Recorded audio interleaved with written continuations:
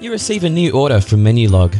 Spatula receives your confirmation email and it automatically creates a delivery job. Your drivers get notified that there's a new delivery on offer, and whoever accepts it first gets assigned the job. When the food's ready, your driver collects it from the restaurant and clicks On My Way, automatically sending an SMS to your hungry customer with a link to a live tracking page so they have the ETA and can track the food on a map like they're used to from the big guys. Meanwhile, you can keep an eye on your whole delivery operation in real time.